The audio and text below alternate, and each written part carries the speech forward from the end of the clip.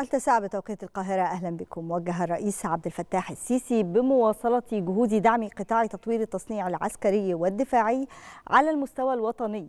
ونقل وتوطين التكنولوجيا المتقدمة في هذا الإطار بما يساعد على تحقيق الاستقلال الأمثل أو الاستغلال الأمثل للإمكانات والخبرات المتراكمة التي تمتلكها مصر في هذا الصدد. جاء ذلك خلال اجتماع الرئيس السيسي مع قائد القيادة الاستراتيجية المشرف على التصنيع العسكري الفريق أحمد خالد وصرح المتحدث الرسمي باسم رئاسة الجمهورية بأن الاجتماع تناول متابعة جهود تعزيز وتطوير التصنيع العسكري. وجه الرئيس عبد الفتاح السيسي بتعزيز الجهود القائمة لاستعادة الوجه الحضاري لمختلف الأحياء السكنية في محافظتي القاهرة والإسكندرية. جاء ذلك خلال اجتماع الرئيس السيسي مع مستشار رئيس الجمهورية للتخطيط العمراني ومدير المشروعات القومية الكبرى بالقوات المسلحة. وصرح المتحدث باسم رئاسة الجمهورية بأن الاجتماع تناول متابعة الموقف التنفيذي والإنشائي الخاص بتطوير الأحياء بمحافظتي القاهرة والإسكندرية. وخلال الاجتماع وجه الرئيس السيسي برفع كفاءة وتحديث الخدمات والمرافق بما يساعد على توفير حياة كريمة للمواطنين وتغيير واقعهم إلى الأفضل.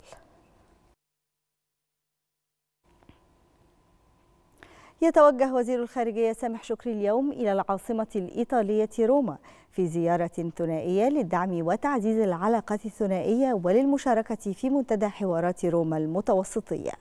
وبحسب بيان الخارجية فمن المقرر أن يلتقي شكري خلال الزيارة نظيره الإيطالي والمدير العام لمنظمة الأغذية والزراعة للأمم المتحدة الفاو ورئيس الصندوق الدولي للتنمية الزراعية إيفاد. هذا ومن المقرر أن يشارك شكري خلال الزيارة في منتدى حوارات روما المتوسطية برئاسة الرئيس الإيطالي ومشاركة عدد من وزراء خارجية دول المتوسط حيث خصص المنتدى جلسة حوار مع شكري لاستعراض الرؤية المصرية أزاء التطورات الإقليمية والدولية وأهم التحديات المرتبطة بأزمتي الغذاء والطاقة فضلا عن استعراض نتائج قمة كوب 27 وأهم مخرجات قمة المناخ. قالت بريطانيا أنها وافقت من حيث المبدأ على اتفاق التجارة الرقمية مع أوكرانيا وهي أول اتفاقية من نوعها للندن في شرق أوروبا.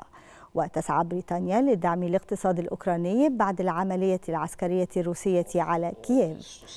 كانت المحادثات حول الصفقة الرقمية قد بدأت في الصيف الماضي.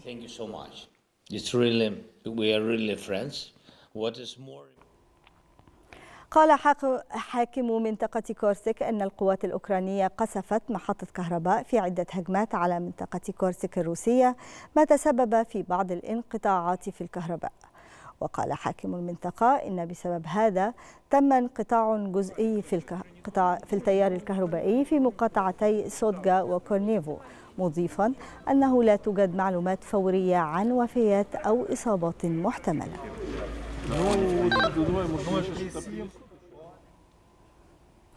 أعلن البيت الأبيض تنظيم قمة من أجل الديمقراطية في مارس المقبل يشارك فيه نقاشاتها قادة كوستاريكا وهولندا وكوريا الجنوبية وزامبيا وقال البيت الأبيض أن القمة التي عقدت أو التي عقدت نسخة أولى منها في العام الماضي ستعرض قدرة الديمقراطيات على التعامل مع تحديات العالم الأكثر إلحاحا.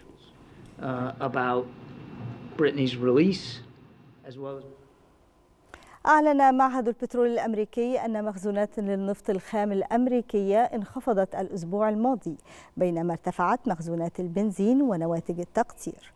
وقالت مصادر إن مخزونات الخام تراجعت بنحو 7.9 مليون برميل في الأسبوع المنتهي في الخامس والعشرين من نوفمبر وزادت مخزونات البنزين بنحو 2.9 مليون برميل بينما ارتفعت مخزونات نواتج التقطير بنحو 4 ملايين برميل. ورياضيا تغلب المنتخب الإنجليزي على ويلز بثلاثية نظيفة في المباراة التي أقيمت بينهما ضمن منافسات الجولة الثالثة والختامية بدوري المجموعات ببطولة كأس العالم.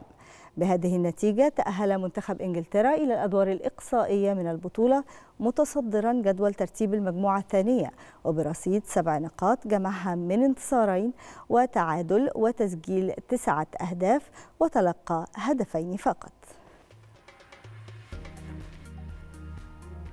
نهاية موجز التاسعة عودة لاستكمال باقي فقرات صباح الخير يا مصر بعد الفاصل.